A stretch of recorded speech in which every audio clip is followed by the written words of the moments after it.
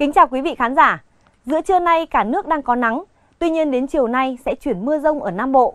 Còn Trung Bộ cũng sẽ có mưa to nhiều nơi từ đêm nay. Bởi ngoài không khí lạnh tăng cường dưới mặt đất, thì trên cao còn xuất hiện nhiễu động gió đông hoạt động mạnh. Cứ khi nào có hai yếu tố này xuất hiện thì miền Trung lại có mưa to. Mưa sẽ bắt đầu từ đêm nay, ban đầu ở một vài nơi, sau đó mở rộng ra khu vực từ Thanh Hóa xuống đến Quảng Ngãi và kéo dài đến ngày 26 tháng 10. Tâm mưa của cả đợt là khu vực từ Quảng Bình trở vào đến Quảng Ngãi với tổng lượng mưa từ 100 đến 200 mm và có nơi trên 300 mm. Các tỉnh còn lại sẽ mưa từ 60 đến 120 mm và có nơi trên 150 mm. Cảnh báo nguy cơ xảy ra lũ quét, sạt lở đất tại khu vực vùng núi và ngập úng tại các khu vực trũng thấp.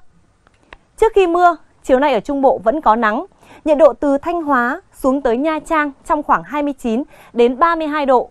Riêng Phan Thiết là 33 độ.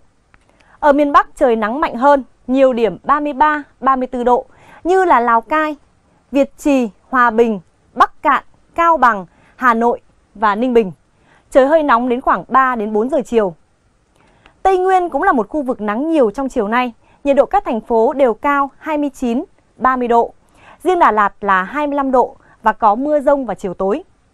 Ở Nam Bộ dự báo sau 13 giờ sẽ chuyển mưa rông rải rác, hầu hết là mưa lượng nhỏ, vài nơi mưa vừa mưa to kèm theo lốc xét và gió giật mạnh. Chuyển sang thời tiết biển, khu vực Bắc Biển Đông bao gồm huyện đảo Hoàng Sa có gió Đông Bắc mạnh cấp 6, cấp 7, giật cấp 8, biển động mạnh. Ở huyện đảo Trường Sa, gió nhẹ, lưu ý là trong cơn rông có thể xuất hiện gió giật mạnh và lốc xoáy. Kết thúc bản tin là dự báo thời tiết cho một số thành phố trong chiều và đêm nay.